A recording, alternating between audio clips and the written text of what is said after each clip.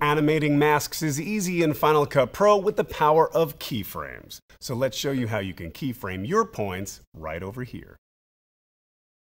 For our example, we'll place this clip of a rabbit onto the face of the moon. First, we'll drag the moon onto the timeline and the rabbit as a connected clip underneath it. We'll speed up the moon clip so that both clips' durations match up.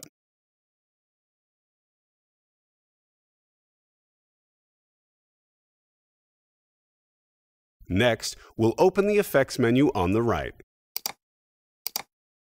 Click on the Masks category and drag the shape mask onto our clip. In the inspector on the top right, the first thing we'll do is click on Invert Mask. So our bunny is visible through a masked window. In the viewer, we'll shape it into a circle matching the moon.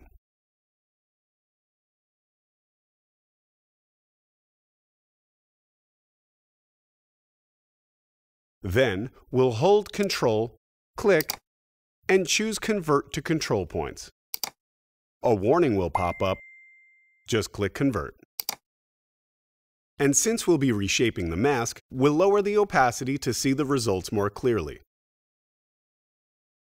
Once we're finished setting up the mask, we'll position the playhead where we want the animation to begin. And make any necessary adjustments in the viewer.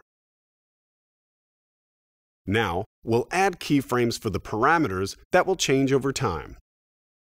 We'll expand the transform and control points controls in the inspector. Hover over the parameters line and click on the keyframe diamond so that it fills with yellow. We'll click keyframes for position, scale, and all the control points. Now in the timeline, Position the playhead at the next point the mask shape will change. Now we can adjust the mask scale, position, and control points so they match the new shape of the moon. Notice in the inspector the keyframe diamonds are filled yellow again, indicating new keyframes were created automatically. We'll continue moving the playhead forward and making adjustments until we successfully finished our animated mask.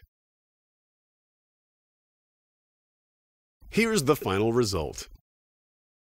Have you ever seen a rabbit or a man on the moon? Let us know in the comments below.